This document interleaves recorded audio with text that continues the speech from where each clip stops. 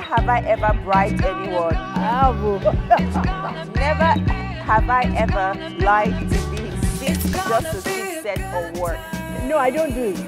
I'll tell you, it's not something I don't do to say I'm sick when I'm not. Because there's a fear in me that what if the sickness then comes? Word of mouth, yeah. yeah. Never have I ever cheated in an exam. Does once count?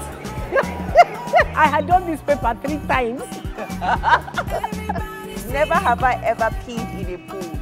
Uh-uh, come on, how Never have I ever farted in an elevator. Uh-uh, I have. yeah. Was it silent one? Of course, silent. How can you face like When you put inside? Which one was that?